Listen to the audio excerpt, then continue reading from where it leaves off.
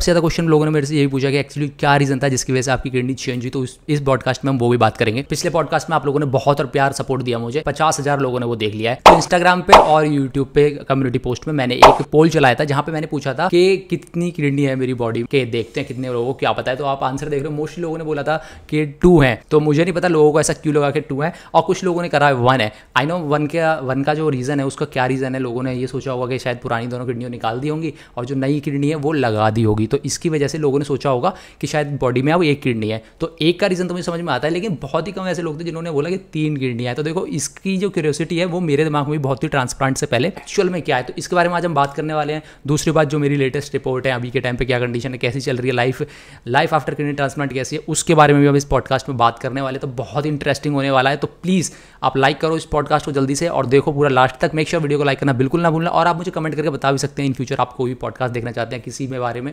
Okay तो अभी kidney transplant को ऑलमोस्ट टू मंथ हो चुका है तो और सब कुछ बहुत ही अच्छा चल रहा है। आज के टाइम पे भी जी हाँ मैं छः लीटर पानी पीता हूँ अपनी डाइट का बहुत ध्यान रख रहा हूँ अपनी दवाइयों का बहुत ध्यान रख रहा हूँ। एंड इवन मेरे दिमाग में क्वेश्चन नहीं था मेरे दिमाग में सीधा क्लियर था कि होगा क्या जब मेरी किडनी ट्रांसप्लांट करी जाएगी कि मेरी किडनी में जो मेरी पुरानी जो दो किडनियाँ हैं जो काम नहीं कर रही है जिनका क्रिएटिन लेवल बहुत हाई उस टाइम मेरे को ये लगता था कि यार हाँ सच में ऐसा ही शायद होगा जो पुरानी किडनियाँ जो काम नहीं कर रही हैं तो अब उसका बॉडी में कोई काम नहीं है उन दोनों को निकाल दिया जाएगा और नहीं उसकी जगह लगा दिया जाएगा। मैंने इसके बारे में गूगल पर भी देखा आप साइड में देख रहे हो तो जो नई किडनी होती है, वो नीचे की साइड में राइट साइड में लगती है ब्लैडर के पास ब्लैडर के पास में। डॉक्टर साथ अपॉइंटमेंट था तो मैंने ऐसे ही उनसे पूछ लिया। डॉक्टर ने मुझसे बोला कि हम सर्जन डॉक्टर ने बताया और जो मेरे नेफ्रो के डॉक्टर थे, उन्होंने मुझे बताया कि आपकी जो किडनी है, हम निकालेंगे मदर की। और आपको पहले मदर के सारे टेस्ट हुए थे, देखा कि कौन सी किडनी लगानी है, कौन सी नहीं लगानी है। काफ़ी चीज़ों के टेस्ट के बाद, महीनों के बाद, काफ़ी लोगों को पता होगा। फिर उन्होंने मदर की किडनी डिसाइड करी कि हम ये वाली लेंगे और राइट साइड में लगाएँगे। तो उस टाइम मेरे दिमाग में एक क्वेश्चन था कि मैंने डॉक्टर से पूछा कि पुरानी दो किडनी का क्या होगा? तो डॉक्टर ने मुझसे एक जवाब सीधा सिंपल दिया, कुछ नहीं होगा वो जहाँ पे हैं, अपनी जगह वहीं पर ही रहेंगी। लाइक वो तो खराब है ना, वो तो काम नहीं कर रही है, वो तो ब्लड फ़िल्टर नहीं कर रही है।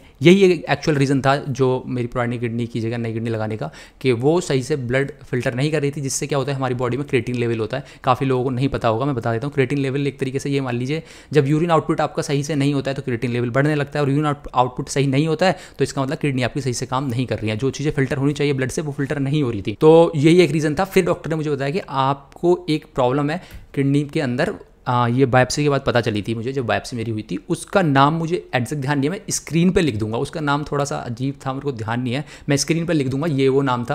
अभी मुझे नाम ध्यान नहीं आ रहा बायोप्सी में मुझे बताया था डॉक्टर ने। तो डॉक्टर ने बोला ये जो प्रॉब्लम है ये बहुत मतलब रेयर है। इंडिया में सिर्फ़ दो या तीनों को पिछले दस साल में हमने क्लिनिकली डायग्नोस कर डायग्नोस करी है।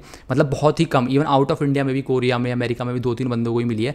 तो ये एक रेयर प्रॉब्लम है जिसकी वजह से किडनी खराब होती है। अब नॉन रिसर्चेबल है बेसिकली तो उस टाइम तो मैं भी थोड़ा डर गया था, भाई ये क्या चीज़ है? उसके बारे में डॉक्टर ने थोड़ा रिसर्च करा, बोला कि हम देखते हैं। तो इस वीडियो में आगे बढ़ने से पहले मैं आज आपको एक एप्लीकेशन के बारे में बताने जा रहा हूँ, जो यहाँ से आप घर बैठे बहुत अच्छे पैसे कमा सकते हैं। इस एप्लीकेशन के एक्टिव यूज़र पाँच मिलियन से भी ज़्यादा है। आप इसे डाउनलोड कर सकते हैं प्ले स्टोर से। सो गाइज़ इस एप्लीकेशन का नाम है भारत ऑप्शन इसमें आप बहुत इजिली पैसे कमा सकते हैं ट्रेड करके। इसमें आपको मिलेंगे एसेट्स एंड इंटरफेस आप किसी भी एसेट्स पे जाकर अपने अकॉर्डिंग पैसे डिपॉजिट कर सकते हैं और बहुत ही आराम से खेल सकते हैं। तो जैसा कि अब यहाँ पे देख सकते हैं, मैंने यहाँ पे हंड्रेड रुपए डिपॉजिट कर लिया आप ग्राफ पे देख सकते हो। बेसिकली हमें यहाँ पे प्रिडिक्शन करनी होती है, जो हमारे चार्ट ग्राफ में ऊपर जाएगा या नीचे जाएगा तो मेरी मतलब मेरे अकॉर्डिंग यहाँ पे ऊपर जाने वाला है तो मैं ऊपर पे सेलेक्ट करूँगा।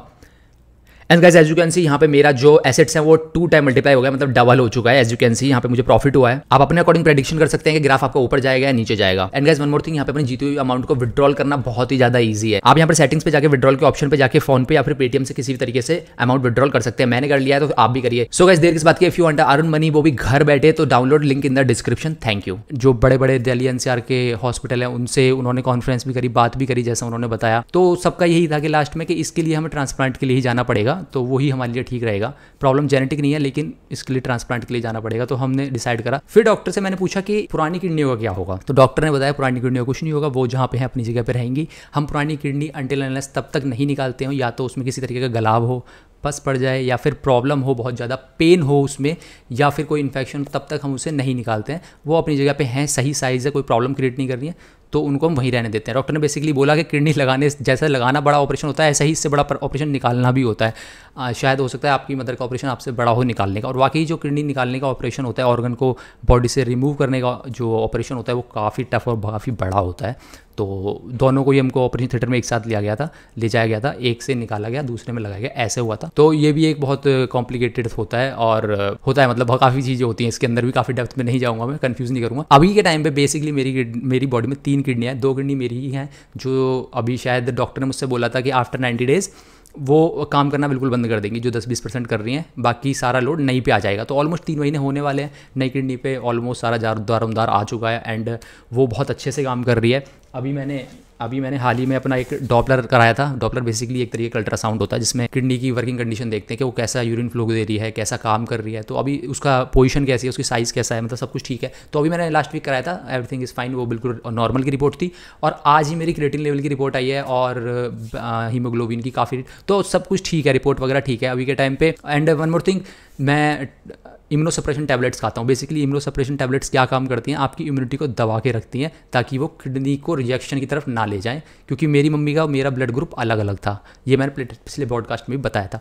तो ये इस रीज़न की वजह से मुझे काफ़ी ड्रग्स दवाई अभी खानी पड़ती हैं। स्टार्टिंग के छः महीने वो खानी पड़ती हैं और उसके बाद डोज कम हो जाती हैं, काफ़ी लिमिटेड दवाइयाँ रहती हैं। और वो उन दवाइयों की वजह से भी कभी कभी रेटिन ऊपर नीचे हो जाता है। मेरा भी हुआ था ऑपरेशन थिएटर में एक आ गया था फिर 1.20, 1.40, 1.6, 1.4, 1.3 अभी के टाइम पे 1.2 है। तो बेसिकली आज ही मेरी रिपोर्ट आई थी तो नॉर्मल है। हीमोग्लोबिन भी ठीक हो चुका है और काफ़ी मुझे अच्छा फील हो रहा है। यूरिन आउटपुट भी ठीक है मेरा।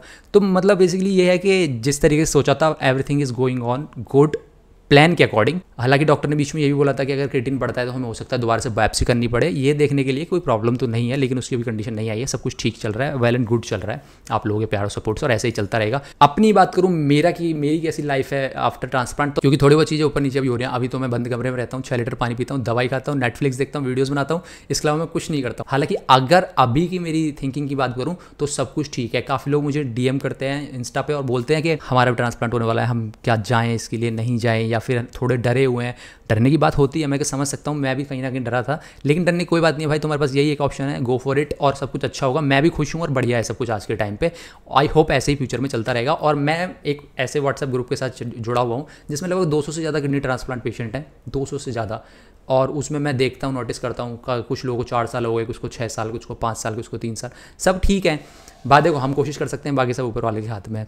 तो ये मैं, मेरे को लगा कि मेरे को इस बारे में पॉडकास्ट में बात करनी चाहिए, क्योंकि काफ़ी लोगों को कन्फ्यूज़न रहती है। तो भाई, मेरी बॉडी में है तीन किडनियाँ, एक नीचे की साइड है, दो ऊपर की साइड है। ऊपर वालों का कोई काम नहीं है, नीचे वाले का सारा काम है। ये है बेसिकली और मैं खाता हूँ इम्यूनोसप्रेस इम्यूनोसप्रेशन बोलते हैं शायद हाँ वो टैबलेट्स खाता हूँ सुबह शाम, जिससे मेरी इम्यूनिटी लिमिट में रहे, कहीं वो किडनी को रिजेक्ट ना करें। तो ये था आज का पॉडकास्ट और शायद मैंने सारी चीज़ें कवर करी हैं। और सबसे बड़ी बात है पेशेंट की विल पावर क्योंकि पेशेंट को पता होता है, भाई, वो किस कंडीशन से गुजरता है उस टाइम पर मैं गुजरा हूँ, मुझे पता है इवन आज भी कहीं ना कहीं सफ़र करता हूँ कुछ चीज़ों से बट ठीक है वेल एंड गुड है सब कुछ घर वालों का आपका सपोर्ट है। तो दैट्स इट गाइड इंस्टाग्राम पे फॉलो करना बिल्कुल ना भूलना, बाकी आप किस तरीके के पॉडकास्ट और देखना चाहते हैं प्लीज़ कमेंट करके ज़रूर बताएँ मुझे, मैं आपके लिए लाने की कोशिश करता रहूँगा। थैंक यू मिलते हैं अगली वीडियो में, तब तक के लिए goodbye and take care